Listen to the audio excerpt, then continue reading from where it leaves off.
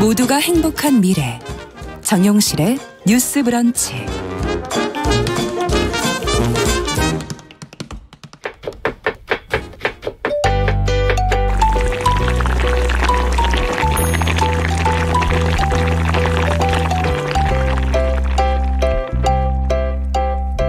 재미있게 식생활과 음식 문화 정보 전해드리고 있습니다. 건강한 식탁 오늘도 홍신의 요리 연구가 자리해 주셨습니다. 어서 오십시오. 네, 안녕하세요.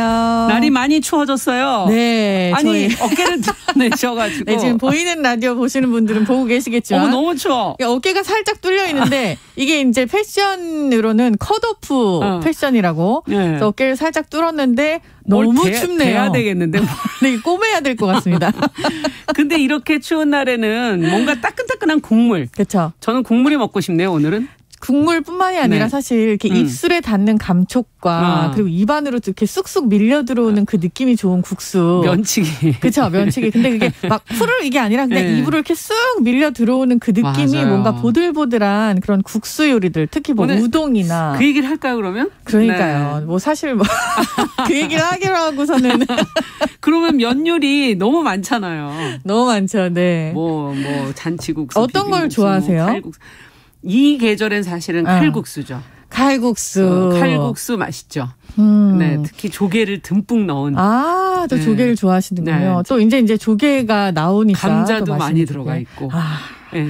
이게 되게 여러 가지를 다 챙기시네요. 뭐 국수, 면발, 네. 감자의 약간 찐득함, 그렇죠. 그리고 또 따뜻한 국물, 음. 그리고 또 국물도 또 시원해야 돼 그러면서 그렇죠. 그래서 조개, 네, 조개. 아, 감칠맛 폭탄 네. 좋습니다. 이 국수가 음. 어, 생각이 나는 계절이라서 사실 준비를 하긴 네. 했지만 국수에 대해서 많이 잘못 알고 계신 것들 어. 특히 약간 이래요. 그 제일 속상한 거. 국수나 한 그릇 간단히 말아 먹을까? 이거 아. 절대 안 간단하죠. 그렇죠. 안 간단하죠. 네, 어디로 가서. 국수가 간단합니까? 면 삶는 시간이 짧다 이 소린가요? 그렇죠. 이제 면이 공장제로 나와 있으니까 약간 이런 말이 음. 유행하기 시작한 거지만 아, 전혀 간단하지 않고요. 세상에서 제일 간단하지 않은데 힘든 게 김밥이랑 국수인 것 같아요, 맞아요. 진짜. 네. 김밥도 많은데 얼마나 복잡한데. 그렇죠. 네. 그래서 오늘은 이제 김밥 얘기는 다음에 하기로 하고 국수만. 국수 얘기를 그럼 좀 우리는 언제부터 할게요. 먹었던 걸까요? 우리나라에서는 국수를. 국수를 언제부터 먹었다라는 정확한 기록이 사실은 없어요. 이것도 아직도 싸우고 있는 것 중에 하나인데, 아. 그러니까 뭐 우리가 실크로드 때문에 뭐 미리 어떻게 전해져서 음, 음, 뭐 음. 국수가 뭐 이런 얘기 있잖아요. 네. 처음으로 국수가 발견된 기록에 나온 그 건. 기록에 나온 게 뭐 기원전 4천년 전에 황하강 일대에서 국수가 뭐 발견됐다. 와. 뭐 이런 기록들이 있지만 그 이전에 이미 어떤 형태의 국수를 만들어 먹었다라고 하는 기록들이 여러 군데 있어요. 어, 이렇게 그래서 오래됐어요? 중국이냐 이탈리아냐로 지금 서로 누가 네, 먼저냐. 네, 자, 이렇게 좁혀져서 어. 뭐 서로 자기네가 원조라고 하고 있고 이태리에선 자기네가 중국에 전파한 거다. 중국에선 어. 중국에서 이태리로 넘어간 거다. 이런 얘기들을 하고 있죠. 이거는 밥보다 만들기가 더 어려운 거 아닐까 싶은데 아. 이렇게 오래됐군요. 그렇죠. 역사가. 사실 빵이나 떡이 음. 조금 우리가 곡물 역사상 되게 주요한 그런 아이템이고 네. 그리고 이게 좀 주식으로 삼는 민족들이 많으니까 이게 더 오래된 거 아니냐 그쵸. 하는데 사실 국수가 훨씬 오래됐고요. 이 빵이나 떡 같은 경우에는 이제 가루로 재분을 한 다음에 이걸 다시 쪄야- 성형을 해서 쪄야 네, 되는 그런 네. 게 있는 거 반면에 이거는 그냥 우리가 알고 있는 국수는 사실 길다랗지만 그 어떤 형태의 반죽도 아. 다 국수예요. 아. 수제비도 마찬가지고. 아, 그것도 일종의 국수라고 그렇죠. 볼뭐수 중국. 면들을 생각하면 사실 예전에 또 말렸죠, 거. 그거를. 그쵸. 말린 것도 있고 어. 생도 있고 뭐 아. 여러 가지 형태가 있기 때문에 이게 어떻게 보면은 빵떡이랑 같이 가는 아. 곡물 뭐 재분 기술이 있은 다음 의 음식인 거죠. 아. 네. 면의 종류가 그러면 너무 많겠네요. 많죠. 음. 아까 칼국수 얘기하셨잖아요. 뭐 이 시절에는 칼국수죠라고 음. 하는 게 사실 칼국수가 국수의 특성보다는 국물이랑 같이 어우러졌을 그쵸. 때 그쵸. 예. 그런 느낌인데 칼국수라고 하는데 칼자가 앞에 붙은 거는 썰어서예요. 칼이 칼이군요. 그렇죠. 그게. 이게 이제 아. 도삭 면도 마찬가지고 칼로 썰어서 아, 이걸 이제 그것도 도삭, 도삭이라고. 하는군요. 칼로 썬다 음, 도삭. 음. 근데 어, 전체적으로 카테고리로 치면은 이거는 절면이라고 얘기해요. 아, 썰은 거. 썰은 거. 네. 우리가 떡도 지- 지난번에 얘기할 때 뭐 떡도 지지는 떡, 뭐 찌는 맞아요. 떡, 치는 떡 되게 종류가 많더라고요. 이렇게 여러 가지가 있었잖아요.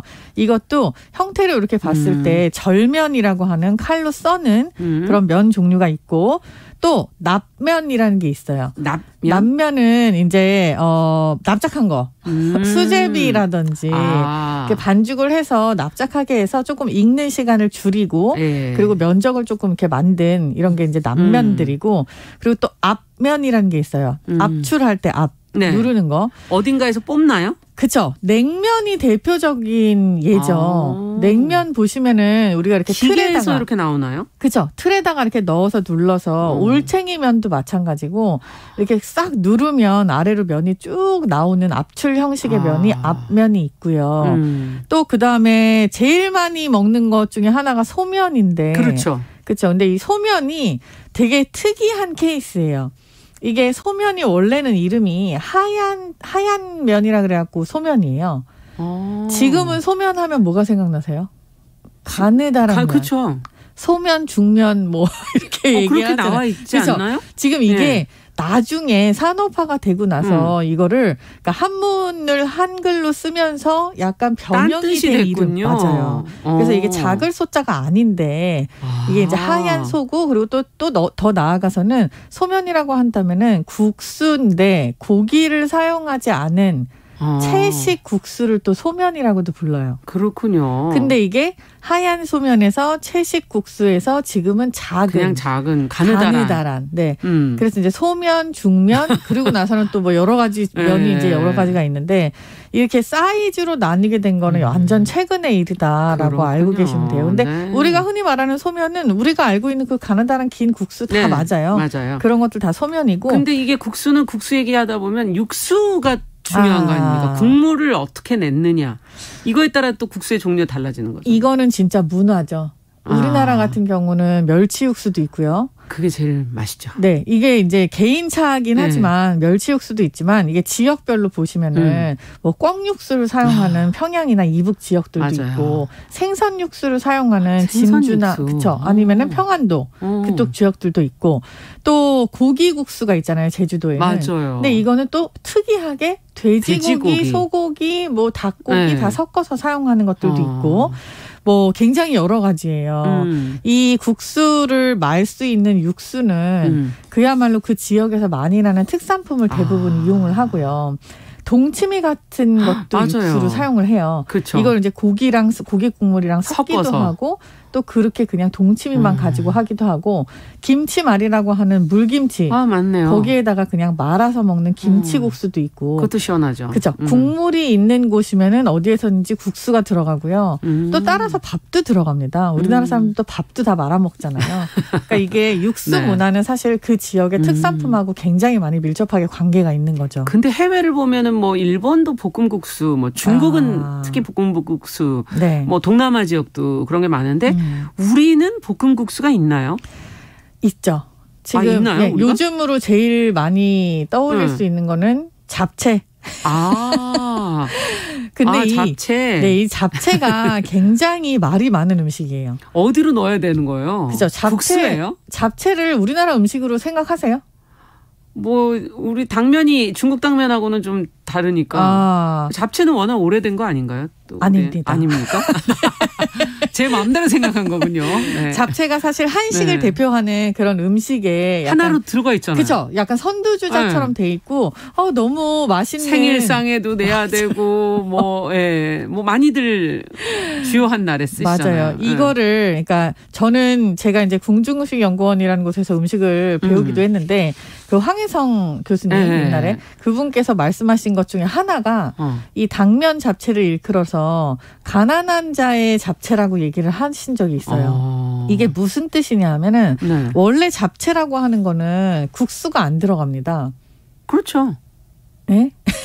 잡채 국수 아니잖아요. 당면이 안 들어가요. 아 원래 안 들어가요? 네, 원래 당면이 안 들어가고요. 아. 잡채라고 하면은 한 여섯 일곱 가지의 다양한 채소를 썰어서 아, 채가 채소라는 의미군요. 같이 볶아서 만든다는 뜻이에요. 음. 그래서 지금 질문은 사실 우리나라에 볶음국수가 있느냐라고 음. 질문을 주셨지만 실제로는요 볶음국수라고 하는 형태가 당면 같은 뭐 그런 음. 형태가 아니라 옛날에 잡채에 들어가는 게 찹쌀 전병 같은 거를 이제 국수라고 본다면 아, 그 남면이죠 남면 예. 눌러서 만든 거 이거를 기름에 지져요. 어, 그렇게 해서 같이 볶아서 만들었다고 말할 수 있는 볶음국수의 음. 형태는 있습니다. 있군요. 근데 뭐 우리가 지금 흔히 알고 있는 무슨 약기 우동이라든지 그렇죠. 무슨 넓은 홍콩면 네. 국수 볶음이라든지 이런 형태는 아니었던 거죠. 아, 그래서 잡채를 볶음국수에 넣을 수 있느냐? 지금 현재는 가능해요. 어. 우리나라 문화가 이제는 당면을 우리 걸로 소화를 하고 네. 거기에다가 우리 재료를 넣어서 간장 양념을 해서 우리 그렇죠. 음식으로 다시 만들어낸 거잖아요. 그렇기 때문에 현대의 한국 음식으로는 잡채가 볶음국수다 아. 말을 할 수 있고요. 음. 하지만 당면이 유행을 하기 시작한 거는 6.25 전쟁 이후 혹은 일제 그렇게밖에 시대 안. 됐군요. 얼마 안 됐어요. 네. 이 당면 공장이 생겼다는 것 자체가 우리나라가 밀이 완전히 귀했잖아요. 네. 지난번에 저희가 뭔가 한번 밀 음, 얘기하면서 했을 때. 이 밀이 귀했을 때 그 밀 이전에 과연 무엇으로 이 음. 가루를 내서 해 먹었느냐 메밀 음. 혹은 녹말 그러니까 녹두, 녹두. 녹말 이런 음. 것들이 있었다라고 말씀을 음. 드렸었는데 이 시절 이후에 음. 이제 고구마 전분이라든지 감자 전분이 예. 좀 활성화되면서 개마고원에 큰 농장이 생기잖아요. 예. 그렇게 되면서 이북에 실제로 사리원에 당면 공장이라는 게 생겨요. 아. 이거는 어떻게 보면 중국의 영향이었죠. 그런데 음. 그 당면 공장이 생기고 나서 전쟁이 나고 그리고 이북에서 내려오신 분들이 부산으로 가서 어. 부산의 남포동 특산품 중에 하나가 비빔 당면이 있잖아요. 아, 맞다. 근데 부산이 특별히 당면하고 어떤 연고지가 있는 곳은 그래서 아니거든요. 거기에서 왜 그걸 드시나 저도 항상 궁금했었는데. 근데 예. 이제 그 피난을 가신 많은 분들 그리고 상인분들이 음. 아이 당면이 굉장히 포만감이 좋고 이걸로 요리를 하면 굉장히 빨리 되고 해서 또 맛도 있죠, 사실. 그쵸, 쫀득쫀득하게 그 그쵸, 씹는 양념이 맛도. 그냥 싹 예, 그냥 겉도는. 게 그쵸. 어. 이걸 가지고 포만감이 있는 한 끼 식사를 빠르게 때웠던 데에서 이게 특산품화도 된 거예요. 어떻게 보면 약간 전쟁의 수혜자고 이걸 가지고 순대도 만들고 맞아요. 그렇죠. 뭐 당면이 안- 뭐 만두도 들어가고 당면이 들어가서 양을 불릴 수 있는 뭔가 굉장히 좋은 구실이 되었었던 거죠. 아. 이렇게 해서 당면이 유행을 하기 때문에 음. 그 다음에 잡채도 그리고 뭐 여러 가지 요리에 다 응용도 가능했었고요. 그렇죠. 우리나라 음식에 사실 당면을 빼고 얘기를 할 수 없는 게 서민 음. 음식이 네. 이 당면이 공장을 여러 군데 세우면서 이렇게 막 부흥기를 맞이한 것도 있지만 음. 실제로 지금 알고 있는 모든 잡채라든지 네. 순대라든지 이런 거는 당연히 당면이 기본값이에요. 맞아요. 그래서 음. 우리나라 음식이라고 지금 보여지는 거죠. 그러네요. 자, 네 질문에 대한 대답은 볶음국수는 그래서 음. 있습니다. 있긴 있군요. 네. 어쨌든 당면 잡채도 거기에 음. 포함이 된다 볼 수가 있겠네요. 오늘 얘기 다 못했는데 저희가 다음에 또 이어가도록 하고요. 건강한 네. 식탁 홍신의 연구가와 함께 국수 얘기 조금 해봤습니다. 말씀 잘 들었습니다. 감사합니다. 자 정용실의 뉴스 브런치 월요일 순서도 같이 인사드립니다. 저는 내일 다시 뵙겠습니다. 안녕히 계십시오.